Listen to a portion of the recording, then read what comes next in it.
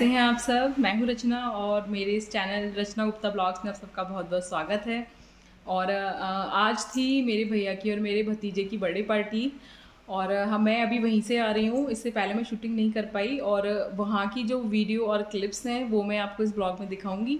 Blog अच्छा लगे तो लाइक, कमेंट करके मुझे बताइएगा। और अगर आप पहली बार चैनल पर आए हैं तो इस चैनल को सब्सक्राइब ज़रूर कर दीजिएगा। तो चलिए उधर की बर्थडे पार्टी की क्लिपिंग्स देखते हैं।